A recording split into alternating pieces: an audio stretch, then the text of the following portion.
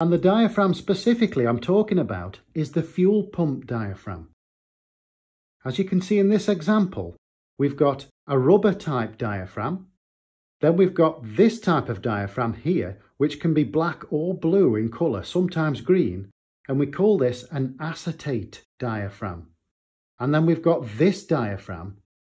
It's usually referred to as Teflon because apparently it's made of Teflon fibres. And to be honest, when I was a trainee, I didn't really give much thought to the materials that these diaphragms were made of. I'd just fit the diaphragm if it fitted the carburettor, then tune the carburettor. But it wasn't long before I started to become inquisitive as to why there was differences in the material. At the time, I did ask some of my mentors, and they didn't really have a definitive answer as to why. So I started to do my own research and asking around in the trade and also taking a look at how my machines ran when I put these different types of carburetor diaphragms in them, how they were tuned differently, etc. But anyway, through my own sort of research, if you like, I came up with this information. And just so I'm clear, this is the information based on my opinion and my experience. But I hope there's something here of value for you to take away. So let's take a look at these three diaphragms. Okay, so we'll start with this one. It's a, the rubberized one and one that I've unwittingly used quite often in the past. It's always black and it's the most flexible. Apparently this type is a good choice if there's little or no ethanol in fuels because ethanol can damage this type of diaphragm quite quickly and easily. Because it's flexible, it's a very good pumping diaphragm. It can move quite big volumes of fuel through the carburettor quite efficiently with little impulse from the impulse line. Apparently it can deal with a quite a heavy mix of two-stroke fuel to oil, as in let's say a 20 to 1 mix, something really thick like that. But if just left to sit in the carburettor, these type can go bad a lot quicker than the other types. Okay, so next, let's take a look at the shiny plasticky looking one that's known as acetate. And as I've said, they come in different colours. This one is a blue one, and they also can be green. Now, some believe that these can work better in colder climates, so colder temperatures. And apparently when these are used, the carburettors also need more adjustment to get it working just so. They are much more of a weaker pumper I suppose that's because it's a harder material to move. So when the impulse line tries to move this, it has a harder job. It needs more of an impulse to actually get this diaphragm pumping. They're not so good as the last one I showed, the rubberized one, because they're not as flexible. So if that's the case, then these diaphragms are probably best used with a weaker mix, so the viscosity of the mix isn't so thick. It's thinner, like a 50 to 1 mix, let's say. That's just my opinion. These acetate diaphragms are used largely in things such as weed whackers, weed eaters, line strimmers. I suppose that's because they don't need to be working at a sort of high performance level, if you like, an high performance speed with the amount of fuel that they need to pump in through the carburettor and into the engine. But overall, they resist alcohol in fuels very, very well. In fact, excellent. And their durability is also really, really good. But the amount of fuel they pump through is a lot less than the other diaphragms.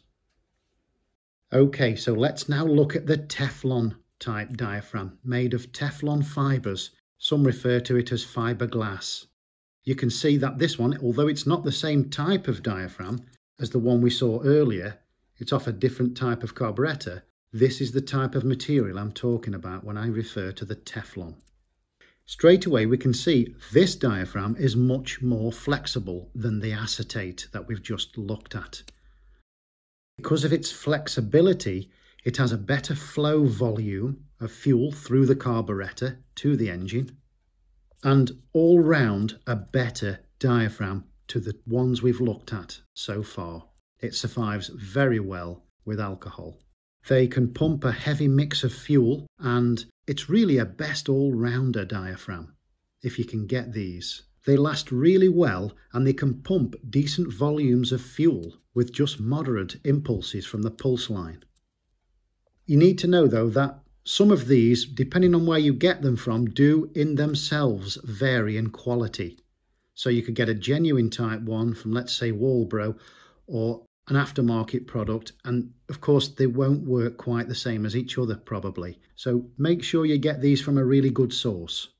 But because it's so good and it's so flexible and pumps so well these can pump too high a volume for certain applications. That's why in carburetor kits there are variations in diaphragms.